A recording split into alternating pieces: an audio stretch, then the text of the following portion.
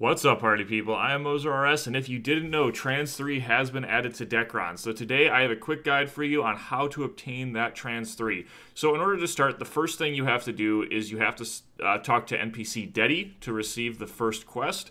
And uh, another thing to note here is you need to be level 195 to get your Trans 3. I should have mentioned that first, but now you know. And the first quest is going to involve killing a bunch of different monsters located in the southwest of the Matera map. And uh, this quest can be kind of annoying because of all the battle support that is going on. Uh, but, you know, take your time, kill all the monsters. They're all located in different areas in that southwest corner. And uh, after you complete them, you are going to head back to that same NPC Deddy and uh, turn that quest in. So uh, after turning this quest in, you're going to see there is not another quest for you at uh, NPC Daddy. Um, you're actually going to have to head somewhere else. So after that, you're going to be heading to the uh, clerk's uh, body, which is located kind of in the center of the map, and then you will obtain your next uh, quest. So this quest is going to re- uh, require you to do Karen's Fire Pot. If you need a guide for that, that is on my channel. Um, it's not too hard, but it uh, it can be hard if you're not geared well enough, but I assume if you're level 195, you should at least have some gear and be able to complete this. I recommend doing the easy mode just because it makes the dungeon a lot easier. So go ahead, head to Karen's Fire Pot, and uh, uh, kill Dr. Labo, and uh, after com- uh, or after killing him, uh, you will complete the next stage of the quest. So after that, uh, we are going to be heading to a different NPC. Actually, we are going to be heading to the I think of the name here, the infected villager, which is located in a different section of the map. The infected villager is actually located um, kind of at the south center portion of the map.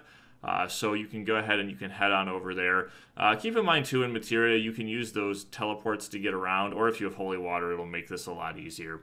Anyway, after completing that, you're going to go, like I said, to the infected villager. You're going to turn in that quest, and then you are going to uh, be talking to a new NPC. Uh, you'll be finding NPC uh, Move On. Move On, I believe it's pronounced, which is located in the northeast portion of the map. So you can go, you can head over there, and you can grab the next portion of the quest. Now, this next portion of the quest is probably the hardest part of the quest. Um, not because it's difficult, but because if you don't have someone to do it with, it's going to take you a very long time to complete. Uh, basically, you're going to have to head over to Shangri-La, and you're going to have to kill 100, or I'm sorry, 1,000 contaminated priests. Which, uh, if you've killed them before, you know they have pretty high HP and resistances, and you also know that people farm that area very heavily for adamantium and heavenly energy.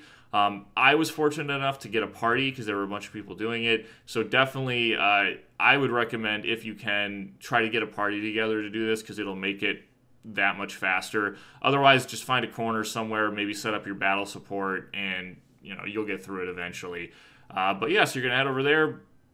Gonna kill all of these guys. Uh, keep in mind these guys hit pretty hard, so you know make sure your monster damage tolerance is up, and you shouldn't have too much trouble. So after completing the 1000 contaminated priest kills, we are going to head to NPC Ellen, uh, who is located uh, back over by uh, Move On again. And this is actually the last stage of the Trans 3 quest, which is very exciting. So you're going to go ahead and you're going to run up to her and you're going to turn in this quest.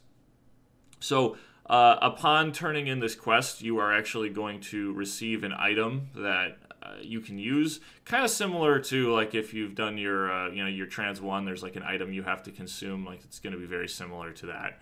Uh, it's like a little blue item. I can't remember what it's called. Let's see what it is when I hover over it. So it's called your Siege Blessing. Now, this is really important here. After you have your Siege Blessing, it only lasts for 30 minutes.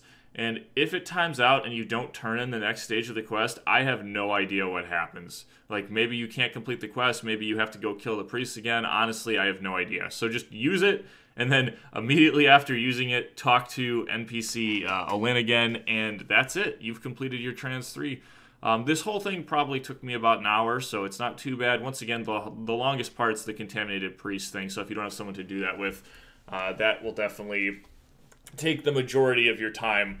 Uh, but yeah, so you need to, like I said, before you turn or before you take that last quest to turn in that last quest, make sure you use that item. Uh, I'm really not sure what happens if you do it a different way. Anyway, so you'll need some extra skill points if you don't have them, uh, but you'll need to level up your trans to level 6 and then level 7 directly after that. And as you can see here, this process will use up 3 skill points. And then obviously if you want to be leveling up your new trans 3 skill, it's going to be even more skill points. But I think it's like level 199 and then I don't know what the next one is after that, maybe like 203 or something um, to start leveling up those skills. Uh, but yeah, the new uh, the new trans looks pretty cool. I really like it. Uh, some classes look better than others. I don't know why the Aloken now looks like a male. That's kind of weird. Uh, but yeah, the uh, the skills actually hit pretty hard too, from what I've seen. I mean, I've only tested the Black Wizard one, but uh, the Black Wizard one hits at level one. It hits about the same as my step one. Um, obviously, it doesn't do quite as many hits, but uh, the damage is still very impressive. Anyway, guys, if you have any questions about how to obtain your Trans 3, you know, make sure to leave those in the comments. I hope you find this guide helpful. Um, as always, uh, if you do have any questions or suggestions, you can leave them in the comments. And until next time, guys, take care.